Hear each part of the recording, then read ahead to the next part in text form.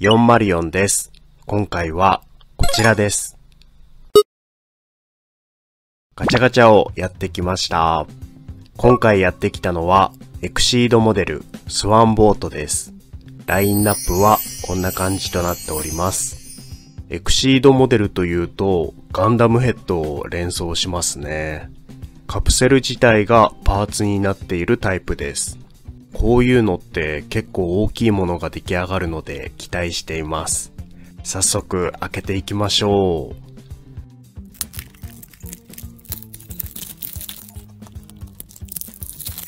おー、なんかいっぱい入ってますね。これを出して、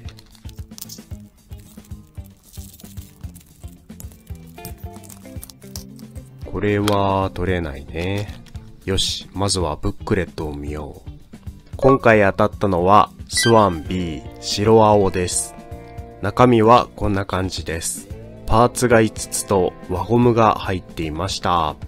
あ、すいません。このパーツは使わないみたいですね。なので全部で4パーツです。それでは説明書を見ながら組み立てていきましょう。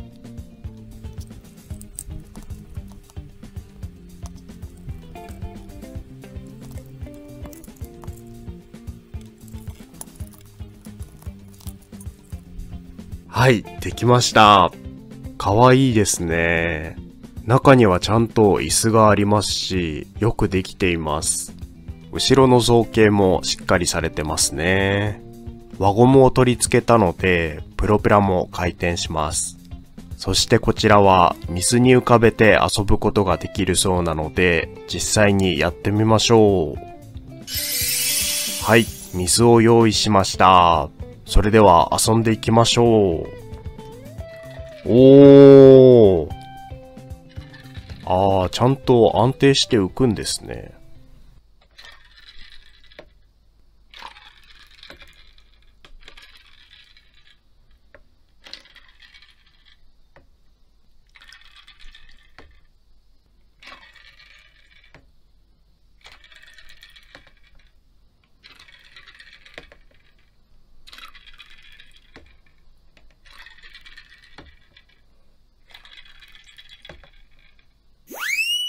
というわけで今回はエクシードモデルスワンボートのスワン B 白青が当たりました。